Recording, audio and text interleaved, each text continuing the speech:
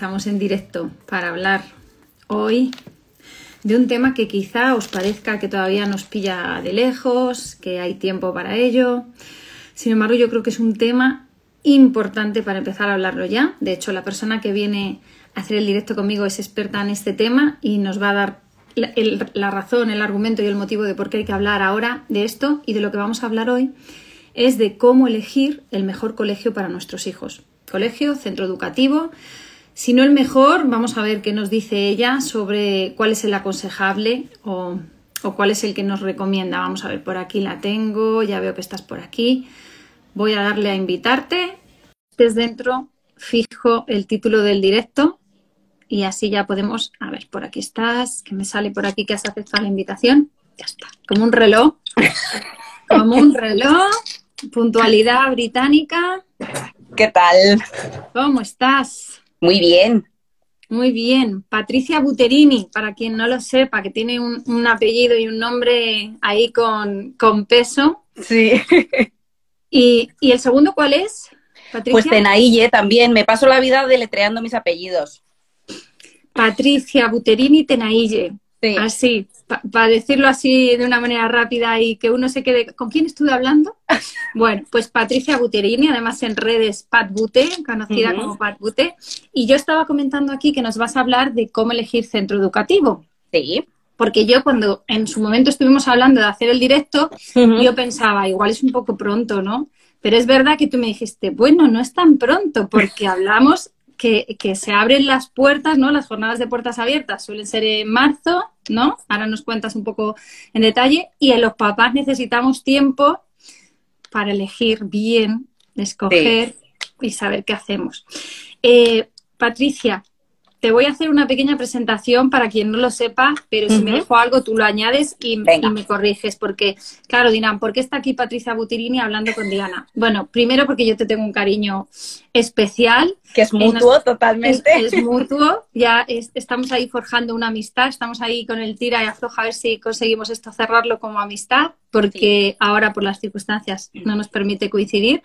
Pero tú eres de formación maestra de educación infantil, pero llevas sí. muchos años, como unos 10 años o algo así, ya trabajando a nivel de consultor, de consultora, precisamente para centros educativos, uh -huh. ayudándoles a desarrollar un proyecto educativo, educativo, sólido, fiable. Además, yo te conocí porque eh, tú buscabas eh, disciplina positiva, ¿no? Y, ya, sí. y llegamos a, con, con, lo cual doy fe que eres de esas personas que te preocupas porque en los centros educativos haya la mejor formación para nuestros hijos uh -huh. y te dedicas a eso, a asesorar a centros que luego ofrecen a los, a los padres pues la mejor oferta educativa. Uh -huh. La empresa creo que se llama AIM Consultores. Sí. Es, es así, correcto, sí. ¿no? Uh -huh. Vale. Y cuéntanos un poquito entonces, Patricia, eh, ¿cómo has llegado tú ahí y por qué crees que es necesario el, el trabajar para, para, los centros? Eh, eh, una consultora para centros, ¿por qué es tan necesario? Sí, suena como muy raro, porque, porque es verdad que, que como padres nos imaginamos que los colegios pues funcionan solos y bueno, pues sí, los, profes los profesores de vez en cuando se forman y, y bueno, como que, que pasa un poco desapercibido esto de la consultoría. Pues básicamente lo que hacemos es eh, ayudamos a los colegios en diferentes áreas, pues en la parte de innovación, eh, en el ámbito de liderazgo, de coaching, en el ámbito financiero y, y, en mi caso en concreto, pues en, les ayudo en el área de comunicación y de marketing. ¿Qué pasa en los colegios? Pues que, que antes eh, ni había problema de alumnos porque había muchos niños, no había casi colegios y bueno, pues se dedicaban solo digamos, como a dar clase, que era como la actividad básica, pero uh -huh. ahora cada vez se está profesionalizando mucho más pues todos los cargos directivos que hay en los, en los colegios, pues antes en casi ningún colegio había departamento de comunicación, pues ahora en los que son muy grandes hay departamento de comunicación y los que son más pequeños, pues como yo siempre digo, es un profe que suele coincidir que es joven y que tiene un Mac, entonces se lo encasquetan, lo de comunicación. Fíjate. Eh, entonces, bueno, pues les ayudamos en todos esos procesos, porque a veces ni ellos mismos saben dónde quieren llegar. Saben que quieren innovar en la manera de dar clase, pero no saben por dónde empezar. y entonces pues les ayudamos un poco en ese proceso de reflexión porque a veces seguían un poco por las modas. Entonces, mm. eh, lo que les ayudamos es a pensar em, lo que llamamos nosotros desde el perfil de salida del alumno, qué competencias y qué habilidades quieres que, que, desarrollen los alumnos de tu centro y a partir de ahí les ayudamos a seleccionar pues qué metodologías o qué proyectos son los más adecuados para implantar en el cole. Porque fíjate que normalmente los papás, o, yo, o por ejemplo en mi caso, lo que pensamos es que un cole lo componen los profesores y que los profesores hacen lo que dice el ministerio, aplican su plan de estudios, son profesores que han aprobado una posición y no se nos pasa por la cabeza todo esto que tú estás contando y que quizá antes no se hacía tanto, pero ahora es como que se está profesionalizando y los colegios acaban siendo como si fueran empresas, ¿no? Y, y buscan posicionarse bien para ofrecer la mejor oferta educativa dentro de lo que les obligue la ley, ¿no? Claro, efectivamente, bueno, todos se rigen por el currículum que, que marca, que marca la ley. Eh, que al final son como unos básicos, o sea, tampoco, mm. después cada uno puede marcar, por supuesto, la metodología que, mm, eh, que, quiera, que quiera utilizar en cada asignatura o en todo el colegio, o proyectos propios, que hay colegios con proyectos súper interesantes, y, y, todo eso es compatible con el currículum oficial, incluso eh, hasta la manera de evaluar. Eh, que bueno, que la ley, la, la, ley dice que hay que evaluar de una manera y muchos evalúan de manera tradicional todavía, pero bueno. Porque, claro, eso te iba a decir, siempre se había dicho que cada maestrillo tiene su librillo, pero ahora parece ser que me estás diciendo que, cada, que también cada centro educativo luego, o sea, es como que yo cojo la ley y luego de ahí digo, bueno, esto es lo obligatorio y ahora yo voy a ver lo que hago por mi cuenta, mm. tanto público y privado y concertado o no. Ahí hay un poco de diferencia. Efectivamente, en España tenemos colegios públicos, concertados y privados. En la pública es verdad que cuesta más em, marcar unas líneas eh, pedagógicas más claras porque es verdad que hay mucha más movilidad de profesorado. Ah, vale. ¿Vale? Entonces eh, les cuesta un poquito más, aunque pille justo, pues a lo mejor que es un profesor o un director muy innovador, pues a veces no le acompaña eh, pues que, que, tiene, claro, porque hay mucha, suele haber más movilidad en, los colegios públicos, pero hay, hay, públicos estupendos que tienen proyectos que te mueres porque, porque oye, tienen mucho profesorado fijo y han conseguido sistematizar eh, su proyecto y lo hacen fenomenal. Entonces, en la concertada y en la privada, eh, que es el caso que tenemos en España de las dos otras opciones, eh, es verdad que, lo que se intenta, después la realidad es otra, porque es verdad que, lo de que cada maestrillo tiene su librillo tiene mucho que ver con soy profe, cierro la puerta y dentro de mi clase ahí nadie se entera de lo que hago. Entonces, eh, pues oye, a mí me han dicho, nos han formado en aprendizaje cooperativo y se supone que todos estamos implantándolo y lo que yo hago es que les tengo sentados en grupo y ya está. Y sigo pues haciendo... Claro. Es que esto, claro, me, está, me, están agolpando las preguntas que te quiero hacer, porque, claro, está además aquí contestando la gente y es que, claro, mm, al final, ¿qué es lo que tú te encuentras? Cuando tú llegas a un centro educativo, tú, tú asesoras, le dices que es lo mejor, pero imagino que hay resistencias, como en todas partes, que además no es lo mismo, como dices, que, tengas un equipo de profesorado estable que se implique a un profesorado que diga, yo estoy aquí de paso, Traigo mi librillo y con este me voy a ir, ¿no? Incluso de paso, o, los que están en la concertada y en la, y en la privada, que también a veces hay movilidad, eh, pues ahí hay mucho profe que no quiere salir de su zona de confort y cuesta mucho. Hacemos también mucho trabajo de sensibilización con el profesorado porque les cuesta mucho ver, dependiendo también de la etapa, eh, y de la experiencia o del, o, sea, o del tipo de alumnado que tengan en, en, los colegios, pues oye, si yo con mi clase tradicional sigo consiguiendo unas notas estupendas en bachillerato, no me vengas tú a contar rollos eh, de cambiar la manera de evaluar o de, o de dar clase. Entonces, es verdad que cuesta, cuesta bastante, pero, pero lo que hacemos es un trabajo primero con el equipo directivo para definir hacia dónde quieren ir y ellos son los que tienen que, que que dar las pautas eh, para que los profesores lo pongan en lo pongan en marcha y también las herramientas. O sea, Fíjate que eh, claro, te estoy oyendo y estoy pensando. Eh, muchas veces los papás lo que oímos es que decimos, jo, mi hijo ha tenido suerte y le ha tocado un buen profesor.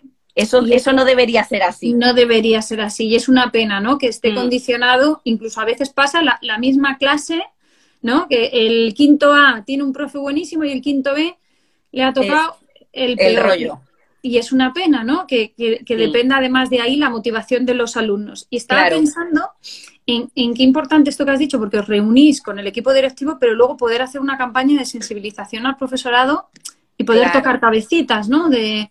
Claro, eh, lo que hacemos, eh, bueno, pues trabajamos, definimos un poco equipos de innovación, pequeños equipos de innovación que van, eh, que van haciendo como pruebas un poco que llamamos piloto de metodologías activas o proyectos en pequeños grupos y después lo que intentamos hacer es que la innovación se extienda, decimos como una mancha de aceite, y entonces, mm. si tu compañero de al lado, que es un poco más tradicional, pues va viendo, oye, que tus alumnos están más motivados o, le, o, o no le encasquetas que haga una actividad de cero, sino que le ayudas y le dices, oye, esto me ha funcionado fenomenal, eh, ¿por qué no lo pruebas? Entonces, bueno, pues yo un poco lo que hablasteis en el directo que tuvisteis hace unas semanas.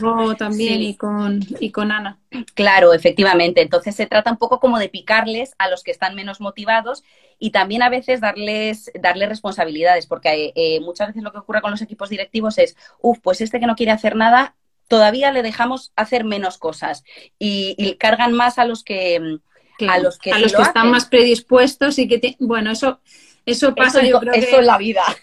Esa, esa, es la vida misma, ¿no? Es como, eh, pero eso nos pasa incluso con los hijos, ¿no? Tengo dos hijos y uno es el más dispuesto y siempre digo, anda, recoge tú la mesa. ¿Por qué yo? Ay, pues porque tú te quejas menos y siempre la recoges, ¿no? Y con lo mismo, resulta que pasa lo mismo con los profes. Claro, entonces lo que intentamos hacer nosotros es ayudar a, sistematizar el proceso de innovación. Oye, sí, que cada uno tiene su ritmo, pero oye, si, si uno de, lo, de las metodologías que queréis implantar es el aprendizaje cooperativo, pues que yo abra cualquier puerta y, estén trabajando de esa manera. O que, si, eh, o que si tenemos un programa de inteligencia emocional que todas las mañanas se hace una actividad de relajación y no sé qué, pues entro en cualquier clase a las 9 de la mañana y todos están haciendo su actividad de relajación. Pero, escucha, ¿eso lo hacéis? Sí. o sea, que quieres decir que cuando, cuando ponéis en marcha un proyecto os implicáis y además hacéis de detectives, de no de, no de detectives, pobres. O sea, lo que hacemos es acompañar en ese proceso. ¿Vale? Entonces, o sea, es apoyo para que ellos ganen confianza sí hacemos observación de aula, por ejemplo, pero no como detective o mm, para sacar ahí puntas, sino... Qué, importantes pues son las, las palabras, Patricia, porque tú entras al aula y le dices, no vengo a examinarte, vengo a darte apoyo y confianza, que te estoy examinando, pero tú sientes que te... Pero no, pero al final es, oye, pues es que puede, haber, puede pasar que a mí me cueste esto en concreto y que yo haya visto desde otro punto de vista que podías haberlo abordado de otra manera y lo hubieras, bueno, escucha lo que tú haces conmigo con la disciplina positiva. Te digo lo que tú quieres oír, ¿no? Eso. Que, tú ya te lo sabes, pero viene alguien de fuera. Y, y, cuéntame, desde que estás trabajando en esto, que ya llevas muchos años, eh, ¿Tú te encuentras que los colegios realmente están volcados por mejorar la formación de sus alumnos, los que se ponen en contacto contigo, sí que quieren hacerlo bien? O sea, que en esto estamos viendo un avance, que hay una preocupación. Yo sí que veo un avance. Lo que pasa es, aquí ya me sale un poco la de formación profesional, muchas veces no lo saben comunicar bien. Entonces, eh, sobre todo pasa con colegios a lo mejor que tienen muchos años, pues en el entorno, eh, pues eh, oye, pues en el barrio, o yo fui antiguo alumno del colegio X y entonces me acuerdo de cómo me dieron clase a mí. Y esa es la idea que tengo de, de, lo que hacen dentro de las aulas. Y es que no tiene nada que ver con lo que están haciendo a día de hoy. Porque es verdad que los procesos de innovación, la verdad que están ya muy, muy metidos en los centros. Y hay veces que, eh, pues incluso con amigas mías que son profes y que trabajan a lo mejor en, en, colegios concertados no religiosos, eh, pues yo les digo, pues oye, pues en este colegio religioso, fíjate lo que hacen y tienen la idea de, uh, colegio religioso, pues deben ser muy tradicionales y no, y no, tiene nada que ver. y, y, entonces eh, tenemos que desechar un poco esa idea de que no se está haciendo nada, sí se está haciendo muchas cosas, lo que pasa que a veces no lo saben comunicar ni a las propias familias de dentro del cole. Ya no te digo solo cuando vas a ver el cole, como que estás buscando colegio, sino a las propias familias del colegio. Que eso pues, es un poco lo que, lo que vosotros también hacéis, ¿no? Y es ayudar a los centros porque muchas veces no saben ni siquiera explicarles a los papás qué es lo que están haciendo y no se ve, ¿no? El, claro. El trabajo final, digamos, ¿no? Los niños van a, al final nos pasa muchas veces que buscamos un colegio inicialmente, luego una vez que lo encontramos ya como nos, nos desentendemos a lo mejor y no nos paramos a pensar todo lo que se está haciendo por detrás de, como dices tú, ¿no? Aplicar inteligencia emocional, eh, pues no sé si hacéis gamificación, sí, claro. todo lo que sea metodología activa, lo que me estás diciendo, ¿no? Trabajo cooperativo. Y, ¿Y dónde ves tú, digamos, la, la mayor dificultad en tu trabajo? Cuéntanos qué es lo que ves más difícil, porque me dices que no lo comunican bien a las familias, que no lo comunican bien cuando lo venden, que no, ¿qué es lo que tú encuentras más difícil?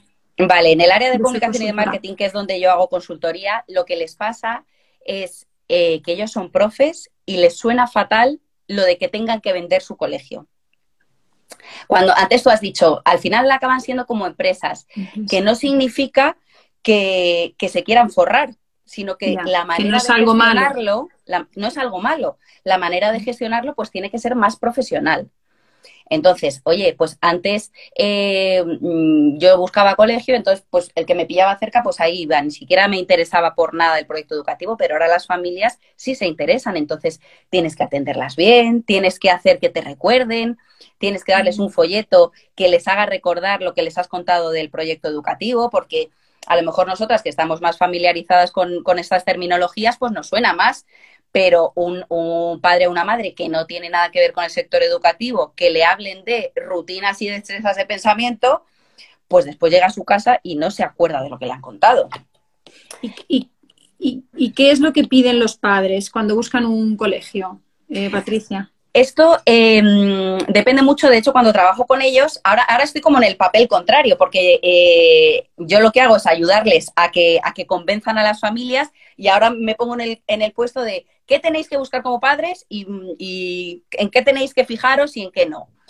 Eh, mm, depende mucho de, mm, del entorno en el que esté el colegio, depende mucho del tipo de familia y cada familia buscamos cosas diferentes. Es verdad que hay unos básicos que todos queremos, pero tenemos que pararnos a pensar eh, qué es para nosotros como padres importante, eh, pues, qué habilidades y qué competencias queremos que adquieran nuestros, nuestros hijos. Y que además es curioso porque que a cada uno, o sea, hay unos básicos, oye, que le traten bien en el cole, pues sí. De hecho, yo cuando trabajo con los colegios les digo, ¿qué os diferencia de los colegios de la zona? Somos un colegio muy familiar. Eh, atendemos muy bien a los niños. Ya, digo, es que eso todos. Sí, pero luego llega el proceso de adaptación y los niños dentro y los padres fuera. Mm. Claro, entonces tenemos que fijarnos mucho en, bueno, hay como unos básicos que esto sí o sí, que esté cerca. Sí. ¿Vale? Porque después la logística, mm.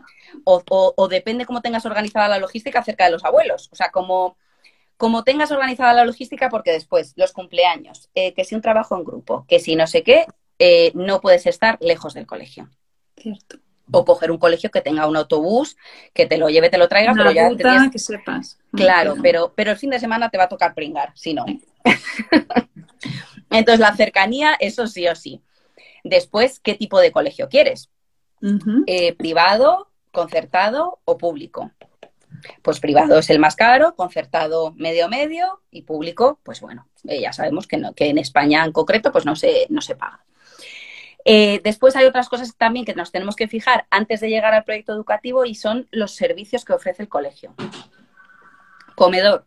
No todos los colegios tienen comedor. Mm. Mm, tú por la logística familiar pues tienes que saber si puede comer en tu casa o no. El horario ampliado.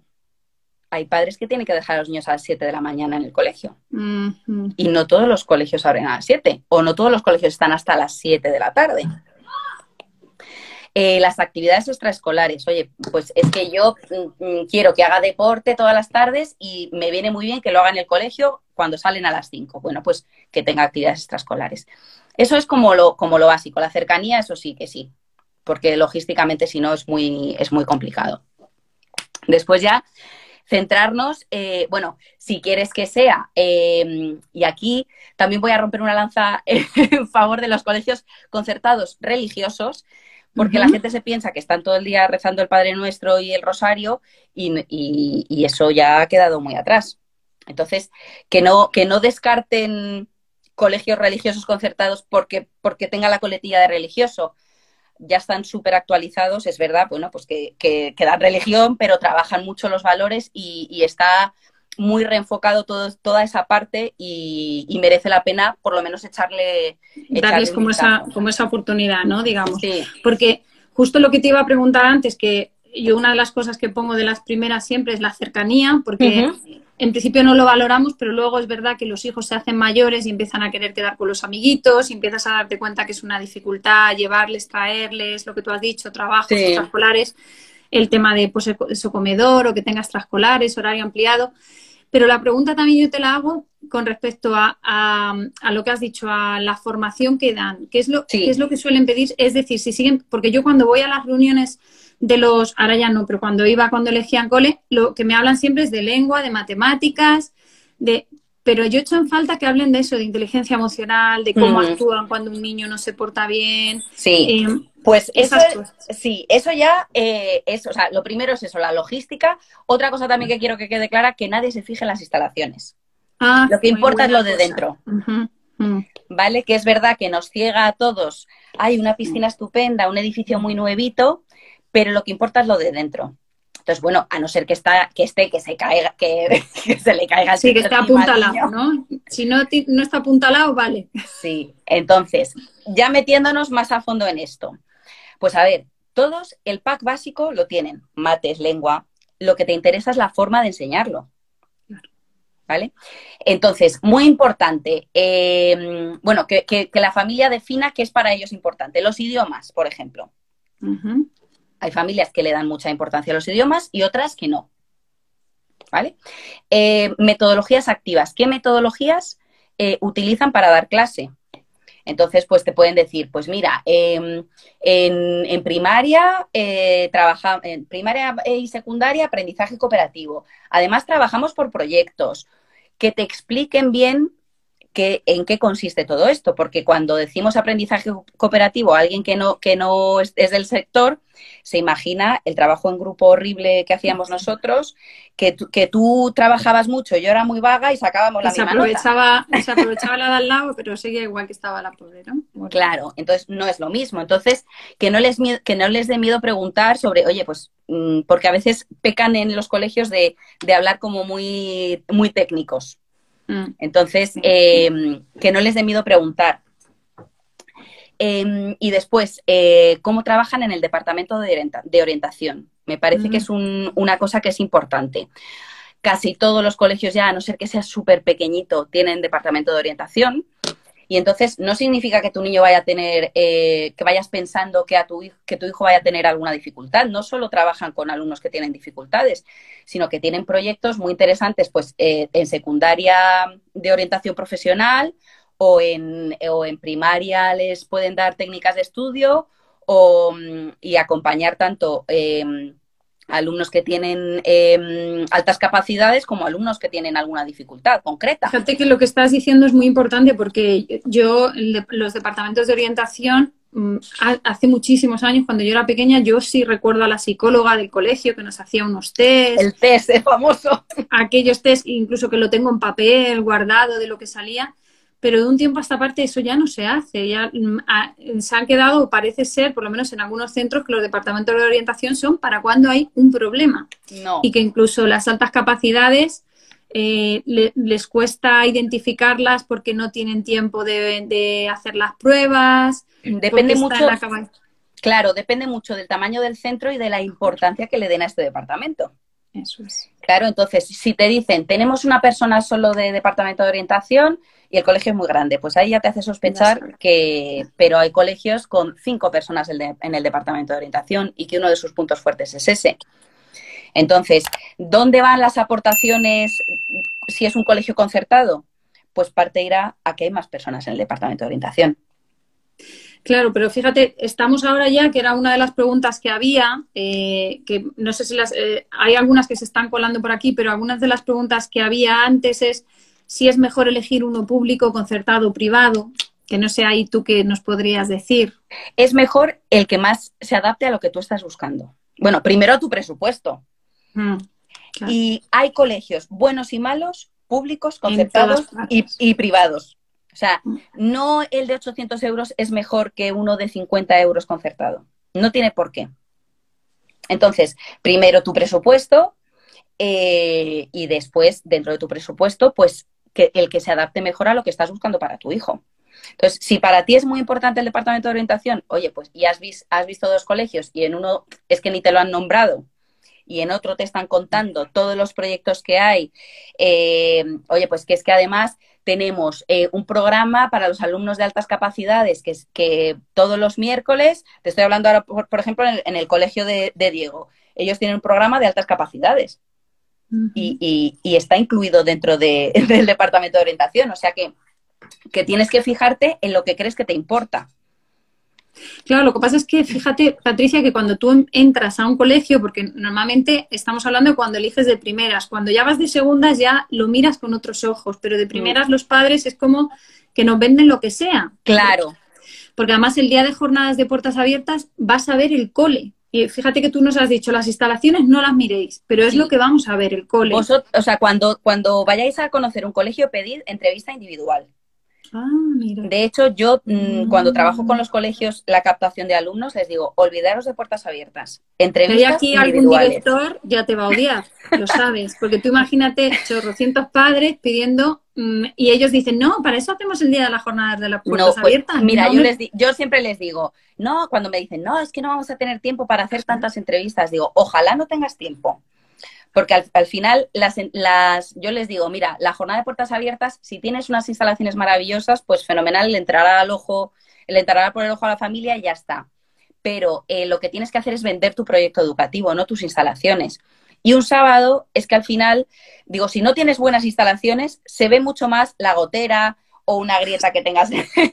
te interesa más hacer la entrevista, ¿no? Claro, te interesa más hacer la entrevista, para que no se fijen tanto en esas cosas que no importan realmente, pero que si, que si no eres del sector, pues se te va más el ojo a eso.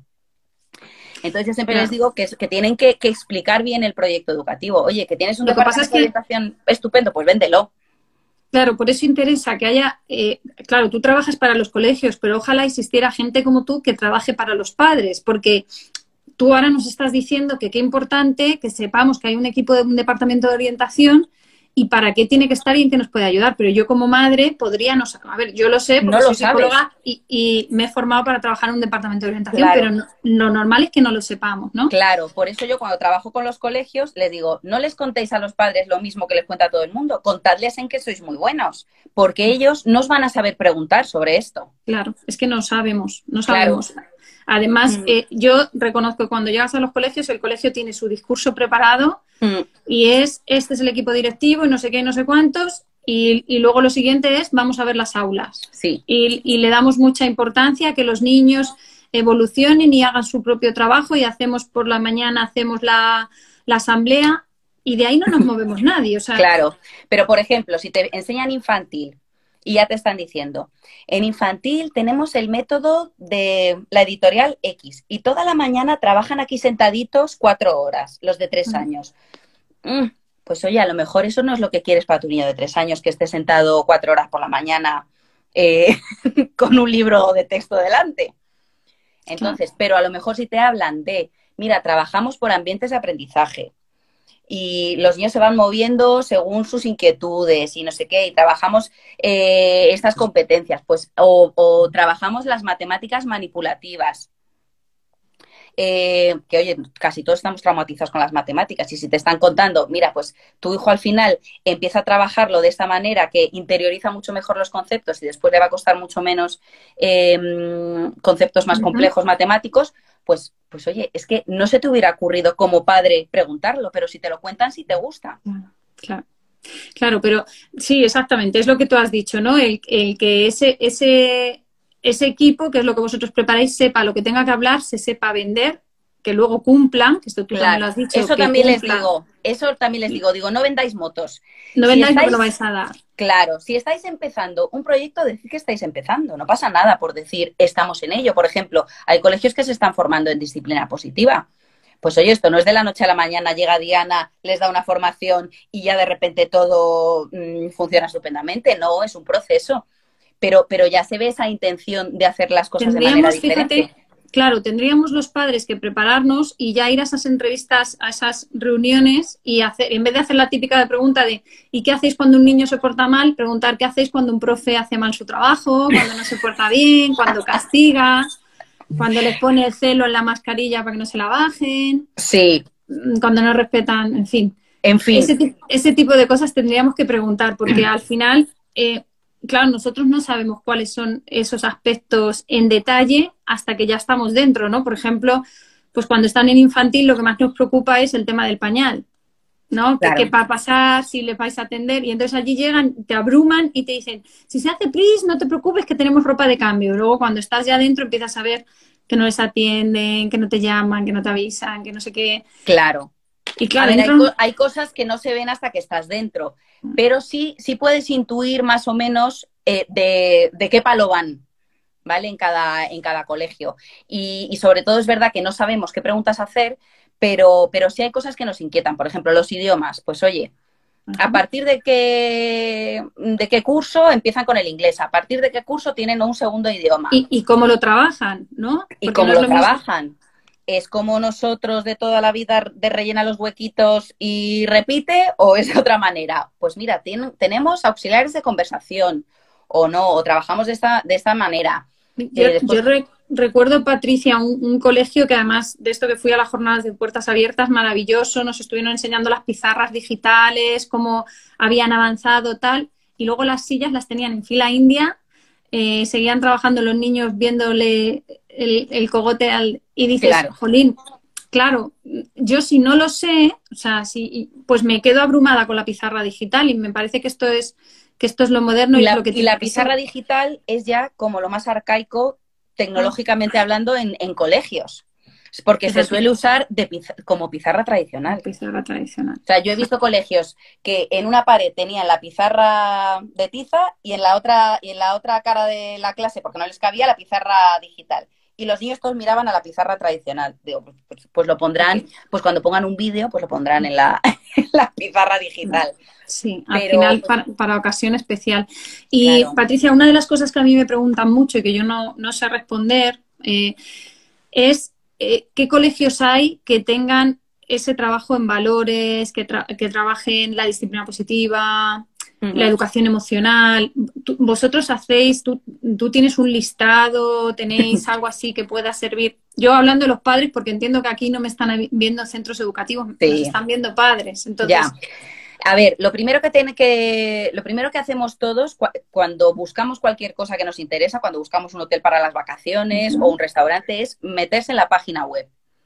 Normalmente ahí encontramos bastante información también os digo que hay páginas web que se te desprende la retina del horror de la página web y no encuentras nada, pero bueno. Pero ahí suele, suele, mm, por ejemplo. Pero esas eh, están hechas para que no te fijes en la gotera del colegio. pero ahí, ahí suelen hablar, pues, eh, del departamento de orientación, de cómo trabajan los valores. Eso sí, que es muy importante que, lo podáis preguntar. Eh, normalmente eh, los colegios religiosos lo enfocan más em, eh, pues, pues a, ese lado, pero, pero son ya muy abiertos eh, y bueno, pues tienen alumnos de un montón de, religiones diferentes. Em, y después en, otros colegios, pues te sorprendería saber que, hay coles que es que no trabajan nada los valores. Mm. claro, lo que pasa es que ningún cole te lo va a poner así. No te va a poner nosotros somos del Mira, tradicional el otro día en un, en un colegio estábamos analizando los colegios que tenían cerca y entonces nos metimos en una página web y, ponía en la página web em, que los alumnos eran eh, de diferentes razas, o sea, tenemos alumnos de diferentes razas socialmente eh, aceptables. Bonita manera de decirlo. Claro. Entonces, y ahí ya, ahí ya ya te puedes, te puedes sacar, hacer una idea, ¿no? Claro. Entonces, eh, se puede ver claramente. Después, en el tema de inteligencia emocional, pues claramente te lo cuentan. Y lo, mal, lo malo que veo yo es que, que, mm, bueno, que aquí yo espero que se lleven como una listita de cosas que tengan que preguntar, pero a mí a veces me ha pasado de eh, amigas mías que buscan colegio y decirme, Pati, acompáñame a este cole porque parece que me gusta, pero lo cuentan tan mal que no, que no sé cómo trabajan y me pasó. Oye, escucha, ¿y te has hecho, te has hecho pasar por madre? Sí, eso, es, eso es un servicio que, que ofrecemos nosotros que se llama Mystery Shopping. claro, y entonces pues nos contrata un colegio y lo que hacemos es eh, ver cómo es el, cómo atienden a las familias los colegios de la competencia. qué bueno. Mm. Pero yo no te puedo contratar para que vayas, por ejemplo, al de mis hijos y investigues ahí. Claro, tú me puedes contratar, por supuesto, incluso podemos ir juntas a colegios que te apetezcan. No, porque a, mí me conocen, porque van mis hijos. No, yo estoy muy contenta, estoy muy contenta, no me quejo. No, pero, pero, pero es verdad que hay veces que lo cuentan tan mal, la verdad, que en este caso me dieron ganas de darle la tarjeta al, al director. Y de cuando salimos nos, nos, nos hizo como un tour por las instalaciones y le dije a mi amiga, mira, trabajan de esta manera porque he visto esto en la pared eh, trabajan esto porque ha, dicho esto, pero después yo he visto en la mesa del profesor que tienen no sé cuántos. Entonces, em, es muy difícil, pero bueno, alguna listita con lo que estamos hablando hoy, yo creo que alguna lista de preguntas sí que se llevarán. Sí que se llevan, ¿no? Mm. Y claro, otra, otra pregunta que hacían es, si me equivoco de colegio, ¿qué pasa? Eso es otra cosa que tengo yo aquí apuntado. Si te equivocas de colegio, no pasa nada. Nosotros como padres es que es un drama, porque tú ya piensas, Dios mío, tengo que cambiar a mi hijo de colegio, lo va a pasar fatal. ¿Lo va a pasar fatal o no? Eh, o lo va a pasar fatal. O lo va a pasar fatal quedándose. Claro. O tú no estás contento con la educación que están dando tus hijos y no pasa nada si te has equivocado. Entonces, tú, eh, cuando has elegido un colegio, creías que tomabas la mejor decisión y, a veces, eh, pues, pues no, no acertamos y no pasa nada. Y, la vida es, cambio, la vida es cambio, nos tenemos que adaptar a los cambios. Te iba a decir, esto es parecido como cuando entras a un puesto de trabajo y de repente no te encanta tanto, no te desencanta y decides, quiero cambiar de trabajo, ¿no? A lo mejor te quedas porque no te queda otra y estás 15 años Mm. Pero claro, los chicos al final, los chavales, están en un centro educativo como poco, pues hasta los 12, los 16, en el mismo centro, ¿no? Claro, y si te has equivocado, no pasa nada. O si te gusta mucho cómo trabajan en primaria, pero en secundaria no te gusta, pues le cambias en secundaria y tampoco pasa nada. Eh, oye, pues mira, yo he visto que en primaria a mi hijo le costaba mucho en este colegio porque tienen, eh, yo qué sé, tropecientos idiomas y mi hijo justo es que le cuesta esta parte, pues oye, en secundaria le cambio a este otro colegio que trabajan de esta otra manera y va a ser mucho más feliz. Fíjate, y a mí, mira, y una cosa que comentan por aquí, que los, chicos se adaptan a todo, pero dejémosles que se adapten a cosas que les hagan bien. No dejemos que se adapten a una situación donde estén sufriendo o lo estén pasando mal, porque a veces con esto de que se adaptan a todo, que no es el caso de, de, la persona que lo comenta, pero a veces pensamos, bueno, como se adaptan a todo, pues que aguante. No, sino al revés. Que yo, por ejemplo, en mi caso, mis hijos han sufrido varios cambios eh, educativos por distintas circunstancias y efectivamente se han adaptado. O sea, mm. por suerte les preguntas si se alegran de haber cambiado. Podría haber sido que no, pero claro, como dices tú, cuando tomas las decisiones, cuando tenemos hijos o, o, elegimos colegios, sabemos que nos podemos equivocar. Eso... Sí, a ver, lo que, lo que se trata es que por lo menos en ese proceso de elección hayamos hecho todo lo que está en nuestras manos por, por saber, o sea, por intentar acertar.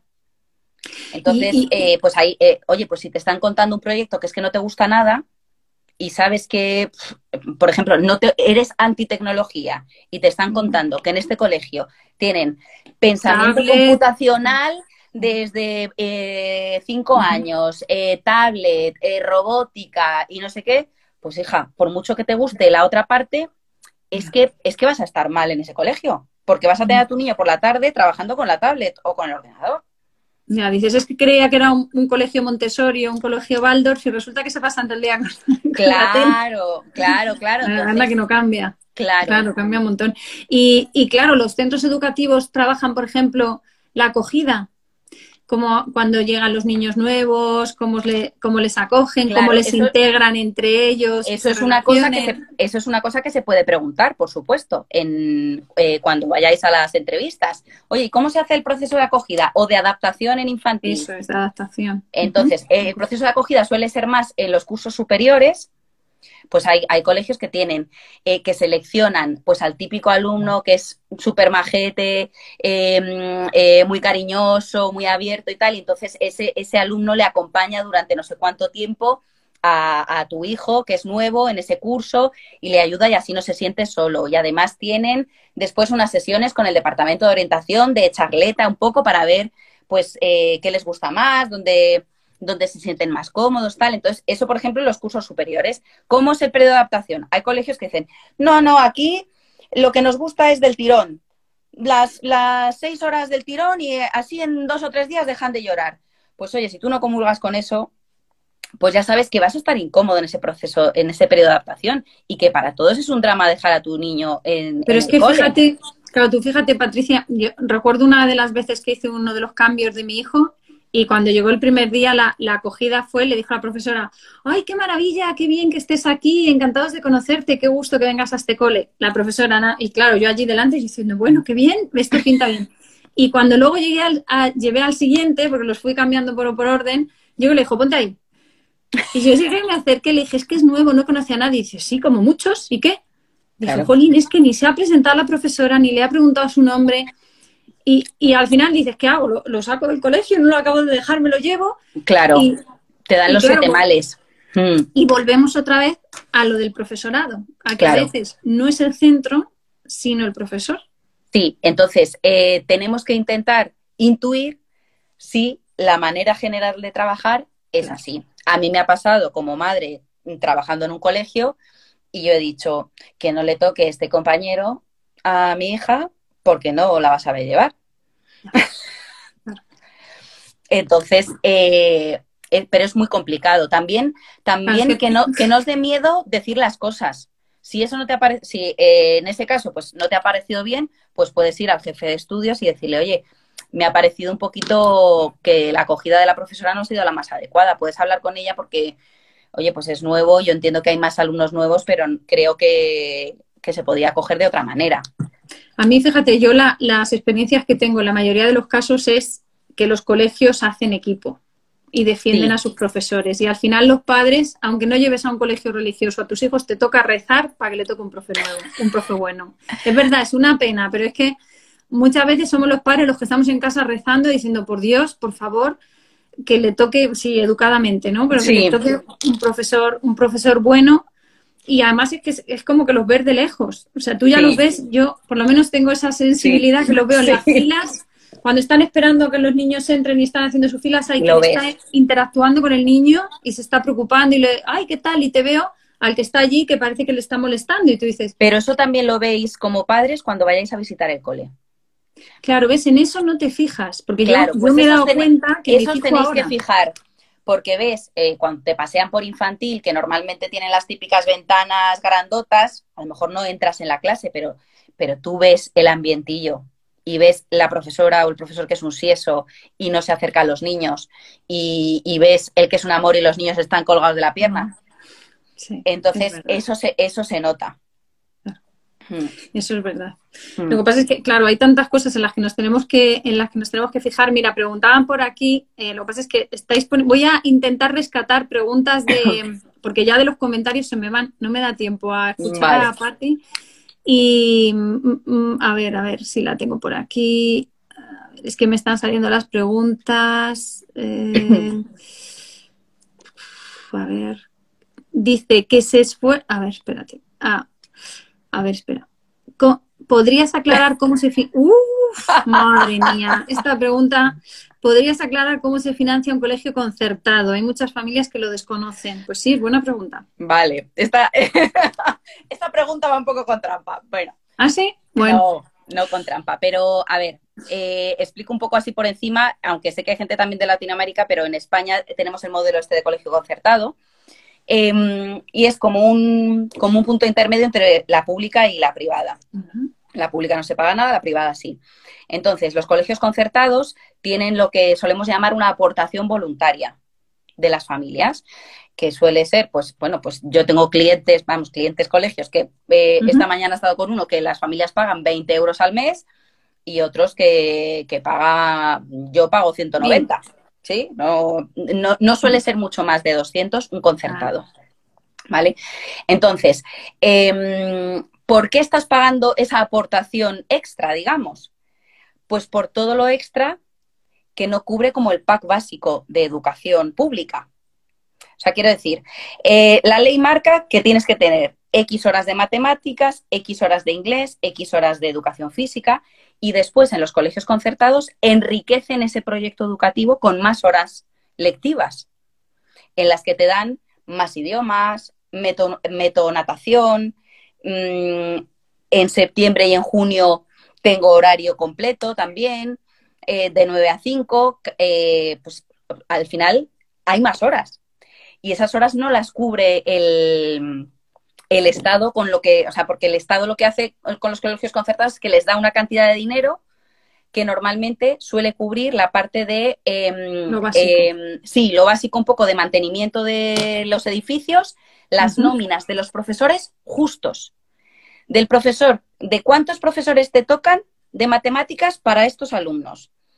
Que yo quiero eh, en mi colegio porque en mi proyecto educativo creo que es interesante dividir a los alumnos en matemáticas en, en desdoblar la clase. Pues ese profe de desdoble no te lo paga el concierto. Entonces, ¿quién lo paga? Claro, entonces fíjate, nos vamos a que muchas de las cosas que pedimos solo te las va a dar a lo mejor un colegio que pueda pagar a sus profesores. claro, o sea, al final hay cosas extra eh, de las que tú te estás beneficiando como familia en un colegio concertado. que no te va a dar un público. Que no te va a dar un público.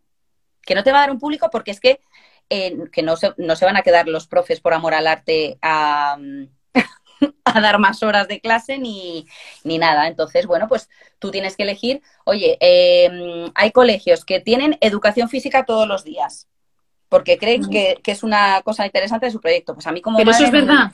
Sí. A mí como ah, madre pues no me hubiera conquistado nunca. Ah, pues a mí sí. Claro. Pues, eh, y por ejemplo, pues a mí me gusta mucho que tengan idiomas. ¿Ves? A mí no.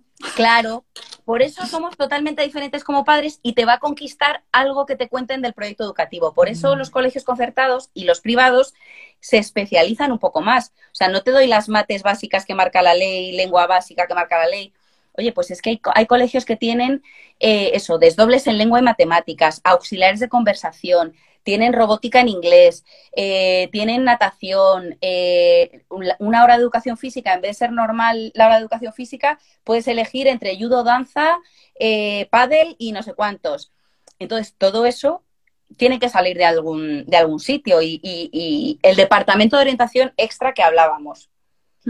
Pues eso no lo paga, no lo paga el concierto. Entonces, eh, claro, pues de ahí es de donde, de a dónde va la cuota, la cuota de la aportación La cuota voluntaria, ¿no? Mm. Fíjate que eh, está comentando aquí una mamá que, está, no está en España, está fuera de, España, me parece que ha dicho que es fuera de España, sí, Argentina, y dice que la tuvieron que cambiar de un colegio privado porque no tenía noción de comida sin gluten. ¿Eso puede ser? ¿Eso no es hasta, entre comillas, denunciable?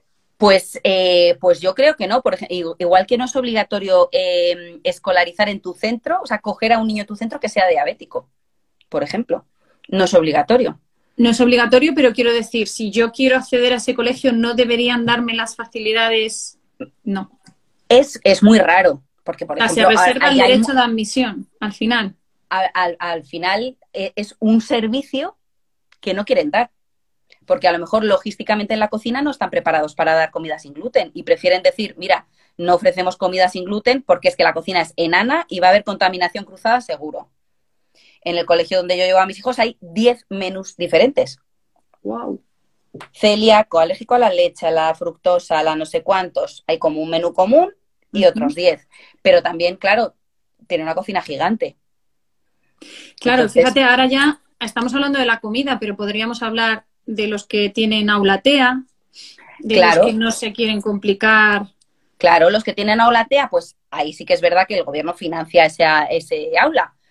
Entonces, eh, y, también eh, hay profesores que están acompañando a sus alumnos fuera de lo que sepa, de lo que está pagado de aulatea, y tú tienes que, tú tienes que analizar como padre, oye, pues es que me parece fenomenal que haya dos personas más extra y entonces pago encantado esa aportación voluntaria. Porque sé que va a tener un... Una, de las preguntas que te iba a hacer, que están preguntando por aquí y se está repitiendo, es cuál es la mejor época para conocer un colegio, que yo sé que hay jornadas de puertas abiertas, pero nosotros podemos ir fuera de esa época a ver un colegio.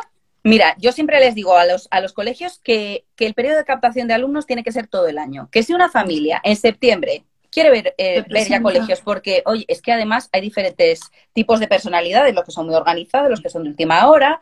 Entonces, oye, pues eh, hay padres que se hacen hasta un Excel con los colegios, las horas de inglés, no sé qué. Entonces, pues oye, si tú lo quieres ver tranquilamente, pues fenomenal.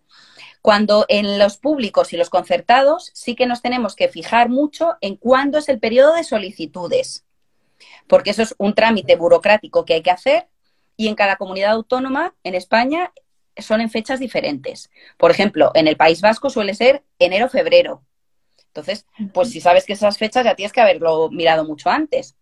Entonces, eh, como yo siempre recomiendo que vayáis a verlo con una entrevista individual en cualquier momento. Yo, a partir de octubre-noviembre, iría mirando con calma. Porque incluso si, llamas a, si, perdona, si llamas a un cole y te dicen, ¡uh! Todavía queda mucho tiempo. Ven a, las puertas abiertas. Pues ya, pues ya te está dando pistas de cómo tratan a las familias. Mm. ¿Y se lo podrías decir educadamente? Sí, Porque claro, pues, claro, te entran ganas de decir, ¿no? Que, que, porque además, fíjate lo que estábamos hablando antes. Tú llegas, por ejemplo, a, un, a, ver un colegio en Navidades y te puedes hacer una idea si ves si hay Belén, si hay árbol, si han decorado o no han decorado. El día del carnaval, si ves que hacen decoración de carnaval o no, si los profesores van disfrazados o no van disfrazados, te da también una pista de cómo se involucran. Sí, eso también lo podéis ver. Yo siempre recomiendo también que cotilleéis las redes sociales. las redes sociales las redes sociales, en Instagram, en Facebook, pues ahí ponen eh, su día a día. Y también os vais a hacer una idea de a qué le dan más importancia. Oye, pues mira, ponen muchas cosas de inglés. O, mm. ah, pues mira qué proyecto tan chulo tienen de oratoria. O entonces eh, sí que podéis ver más el día a día en las redes sociales. Entonces eso también es importante cotillearlo. En septiembre yo no recomiendo porque es entre el periodo de adaptación, el colegio mm. está como muy desangelado. Entonces, octubre, noviembre, o sea, yo soy previsora. Yo iría octubre, noviembre y voy mirando con calma. Haceros una lista de cuatro o cinco coles que tengáis en vuestra zona de influencia y vais mirando.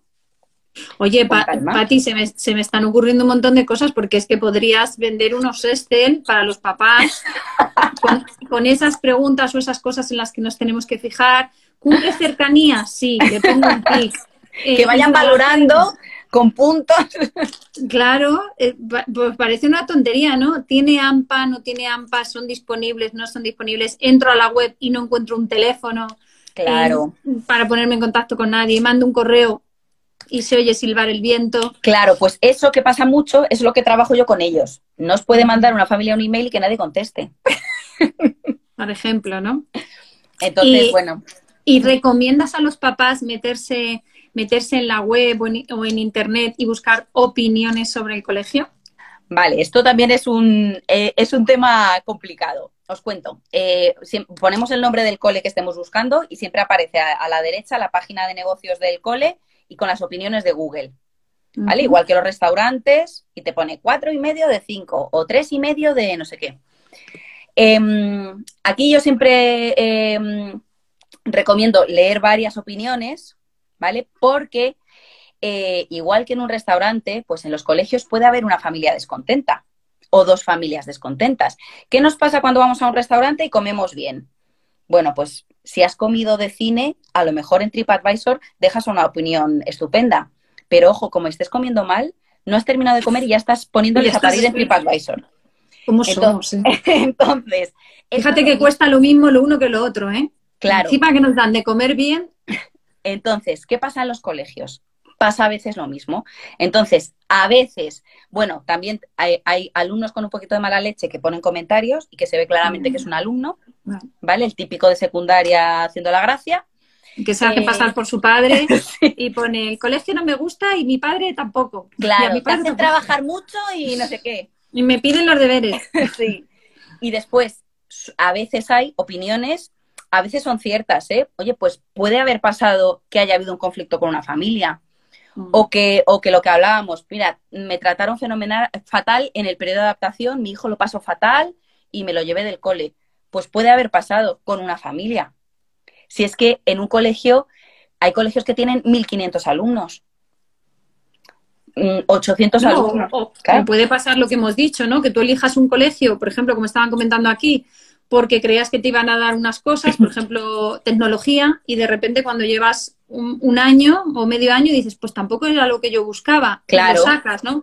Lo que pasa es que yo creo que ahí, cuando los papás leemos las críticas, podemos un poquito sacar si, si es porque no elegimos bien y entonces nos equivocamos o si es que no hay un buen trato, si es que se pasan por alto los problemas, claro. si hay algo más, ¿no? Te da, te da bastante, o sea, por eso digo que, leáis varias, ¿vale? Que no os quedéis con la primera o la segunda que hablen muy mal a lo mejor, que os hagáis un poco una idea general. Mm. Em, dice, ¿cómo puedes intuir el nivel que tiene el colegio y compararlo con otro? ¿Nivel académico? Entiendo que se referirá a eso, sí, al nivel, a, la formación, ¿no? Para comparar un cole con otro y ver un poco. Vale. Si se refiere a nivel académico, eh, por ejemplo, en, bueno, pues hay, hay determinadas pruebas que se hacen en, en algunos cursos, eh, que son pruebas oficiales de las comunidades autónomas. Si está en España esta persona que lo ha preguntado, pues por ejemplo, en Madrid tenemos la CDI, que se pasa en, en unos cursos de primaria y en otros de secundaria es una prueba competencial. Y después tenemos la selectividad, que ya no se llama selectividad, que como le cambian cada año de nombre, pues, pero lo que era antes la selectividad, el acceso a la universidad. La BAU, ¿no? Sí. Entonces, eh, eso puede ser, puede ser un indicador. ¿Y por qué digo puede ser? Las pruebas de competenciales de primaria y secundaria, digo puede ser porque hay colegios que se preparan esas pruebas para pasarlas y sacar muy buena nota. Eh, hay colegios que casualmente ese día que vienen a hacer los exámenes, a fulanito de menganito les dicen que se queden en su casa porque si no les baja la media. O hay coles que se lanzan y oye, lo que sea es y ya está. Entonces, esas yo diría que, bueno, son fiables, pero, pero bueno, cosas que creo que sí que son más fiables. Pues, eh, por ejemplo, en idiomas, que pregunten con qué nivel eh, salen los niños del colegio. Oye, pues en, en sexto se examinan de este nivel de inglés y aprueban el 90%. ¿Vale? Y después, en la nota, en el acceso a la universidad, en bachillerato, em, que no te digan el porcentaje de aprobados, sino cuántos se han presentado. Claro, porque muchas veces te dicen 95% de aprobados. Ya, pero ¿a cuántos se han presentado? Porque se ha dejado a 20 ah, en el cole porque te iban a fastidiar la media eh, o porque sabías que no iban a aprobar. Y después otra pregunta que me parece también interesante y que los coles que tienen muy buen nivel ya lo están contando, ¿cuántos alumnos entran en la carrera que ellos quieren? Claro, fíjate, eso sería que se hacen seguimiento de sus alumnos, que si los alumnos están contentos volverán o seguirán mm. en contacto con su cole. Qué importante eso, ¿eh? Sí. Eso habrá pocos colegios, ¿no? O, hay muchos que sí que pues consiguen eso. Nosotros trabajamos mucho el, trabajo, vamos, trabajamos con, eh, los antiguos alumnos. Sí, sí se trabaja mucho.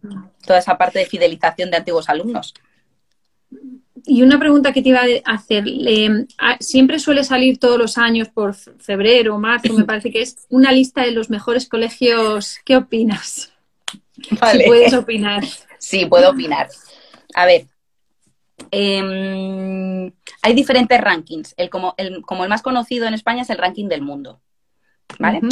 Entonces, eh, hay otros, y aquí, o sea, no voy a dar nombres, pero que son un poco tonguillo, que llaman a un colegio al azar, oye, somos del periódico tal, vamos a hacer un ranking y, y te, hemos, elegido como mejor colegio y no te conocen de nada.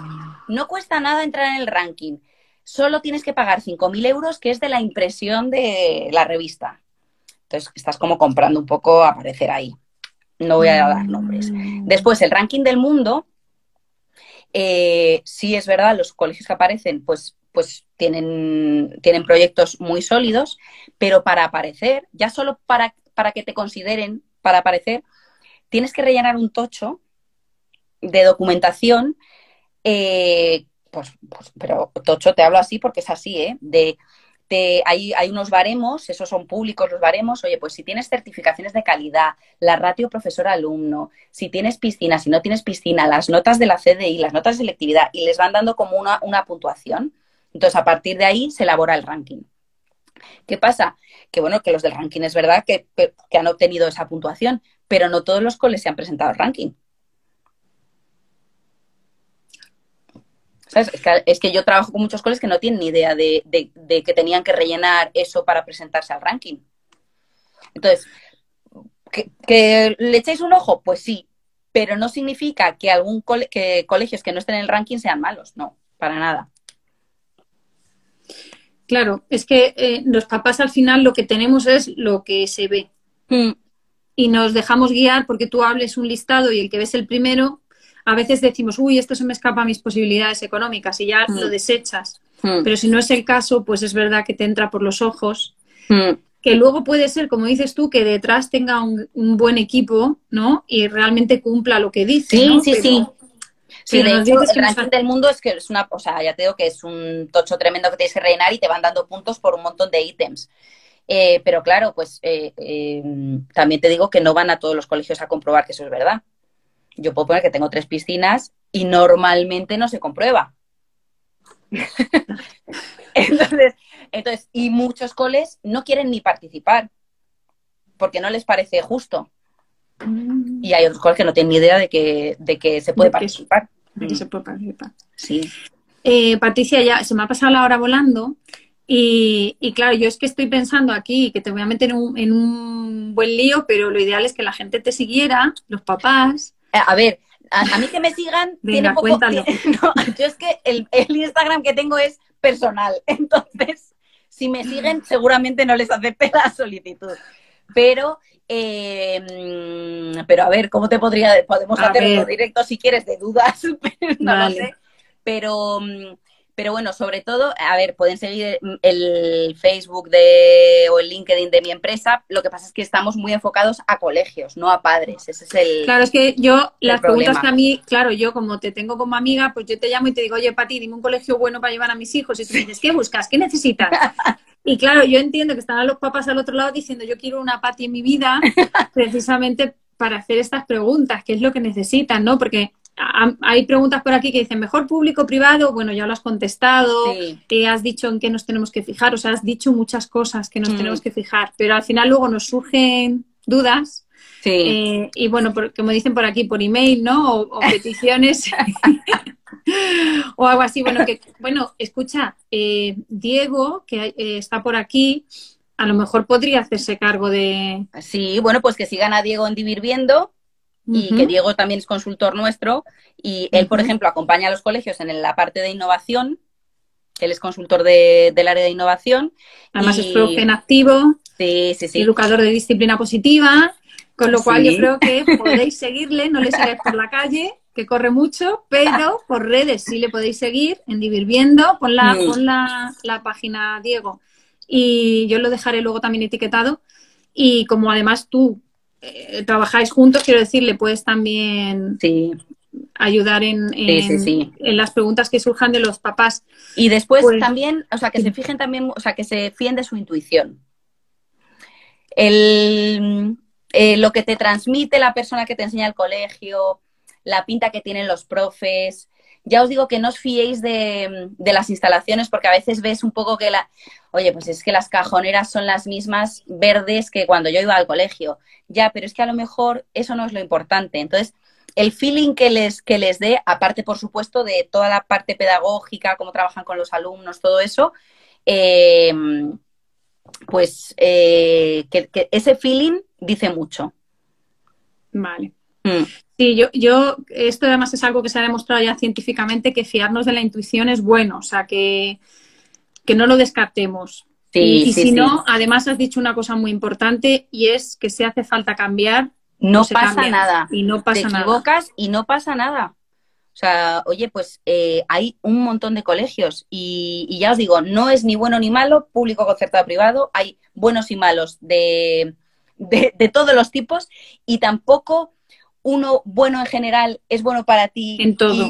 Eh, claro, entonces tenéis que fijaros y tenéis que sentaros como, mm, como pareja y, decidir lo que para vosotros es importante, como decías. Y también ser un poquito flexibles como padres, ¿no? Y tener en cuenta que a lo mejor buscas un colegio con piscina y a lo mejor la piscina en vez de estar a 27 grados está a 24. Bueno, pues que o que, no, que no todo o que no todo te encanta. eso es, eso es. Pero por lo menos que las cosas básicas y esenciales, que es lo que yo digo muchas veces, por lo menos en las que yo me fijo y, y esto es algo que hablaré contigo, es pues que tengan disciplina positiva, que los profesores estén formados en educación respetuosa, ¿no? Porque al final luego las quejas de los papás, las que a mí me llegan precisamente es y sobre todo a lo mejor en etapas inferiores se nota menos, pero cuando ya hablamos de secundaria o los últimos cursos de primaria que empieza a haber más roce entre los alumnos, ya no se hacen asambleas, ya no se les permite pues, expresarse. Claro, pero que tu hijo venga mm, siendo de secundaria y te diga, no, mamá, pues he tenido este problema tal, pero no te preocupes porque eh, hemos llamado al mediador que, tiene, que de clase y entonces lo hemos solucionado no sé dónde, y ellos mismos aprenden a resolver sus conflictos porque lo llevan trabajando desde que son pequeños, porque trabajan de esa manera en el colegio. Entonces, pues eh, ya os digo que, os tenéis que fijar mucho en lo que vosotros consideráis importante. Hmm. Efectivamente, con todos los puntos que además has dado, que son esenciales, lo voy a dejar guardado, o sea hmm. que Sí, mira, dice, si te toca un profe que no sigue la metodología, esto es lo que hemos estado hablando, ¿no? Se intenta siempre, sensibilizáis a todo el equipo educativo. Y que no os dé miedo decir que no estáis contentos con un profe.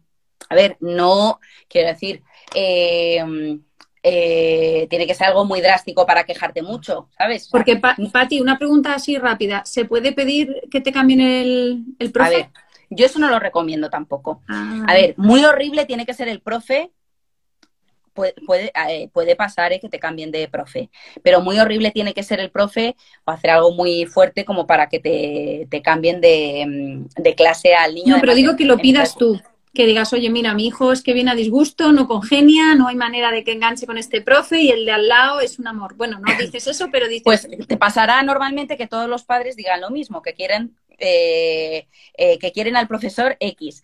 Entonces, no, pero quejarte, quejarte eh, no en plan mal, sino también un poco mm, eh, con contacto, ¿vale? Eh, les hace también ver a los equipos directivos que hay profes que no funcionan.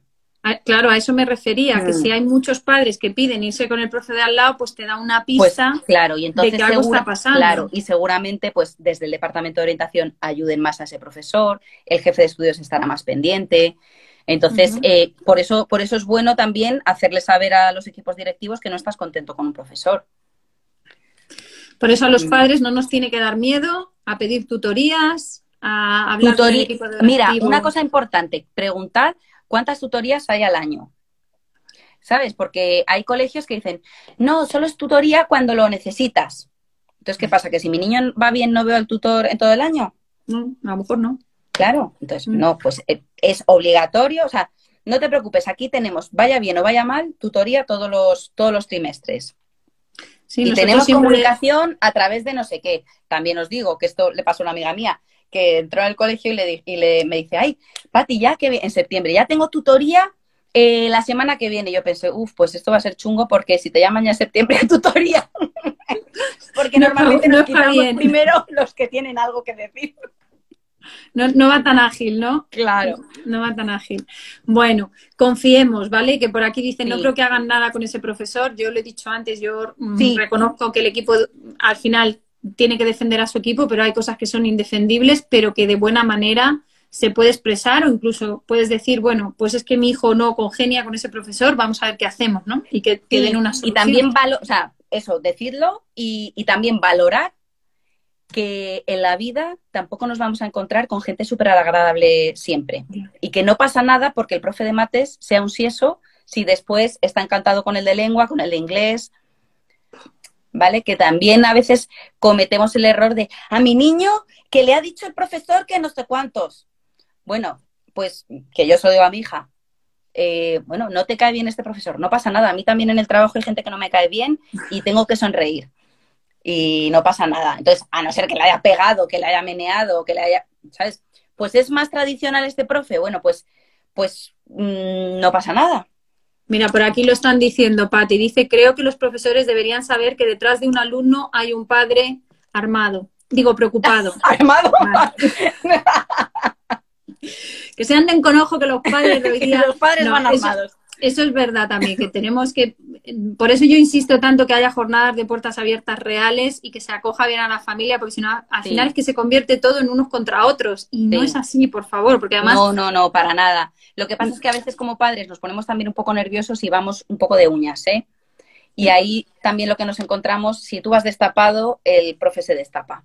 Ya, pero es que cuando tocan a tu hijo, que esto es como a mi hijo solo le pego yo, que esta es otra cosa que nos pasa mucho a los padres, a, mi hijo solo le encierro yo en el lavabo, y que venga otro y le encierre, pues no me, no me sienta bien. Claro, si yo, lo, si yo lo entiendo y también lo sufro como madre, pero, pero es verdad que tenemos que intentar pues ser un poquito equilibrados y, y, también entender que los profes tienen 27 niños en clase ¿eh? y, y cada vez alumnos con más dificultades y a veces no tienen apoyo. Entonces, no tienen recursos, y que a lo mejor un y que a lo mejor un día también ese profe viene de su casa alterado por X y a lo mejor ha pegado un grito. Eso. Y mm, entonces, que yo lo entiendo, que a nuestros niños no queremos que les toque nadie, ni que les grite nadie, ni pero que, que no trabaja, o sea, que los profes no trabajamos en un banco, que si tengo un mal día estoy con los papeles y a lo mejor tiro el papel.